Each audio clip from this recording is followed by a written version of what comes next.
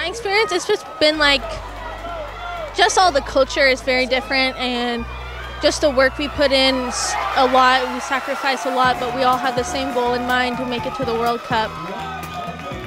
I knew I wanted to do something special. I lost my best friend, who was like my brother to me, two months ago today.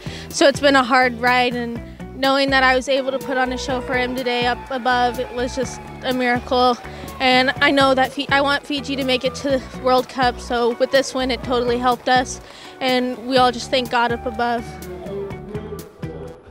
We're actually able to follow her and do that. Some parents aren't fortunate enough to follow their their kids, so we're very proud and, and happy, and it's a very important thing for their uh, courage and to build them build them up. At the age of 17, for her making all this way here, I mean, I'm just proud. Proud she's uh, making her dream come true, even if she doesn't get to FIFA. We're hoping we will, but coming this far is a great achievement for her. I love like my parents. They everything. They do everything for me, and for them to come all the way out here, very grateful for that.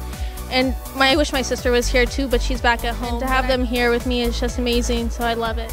Like uh, any other player, she is equally important to us. Uh, she received uh, a lot of balls. She delivered a lot of good balls as well.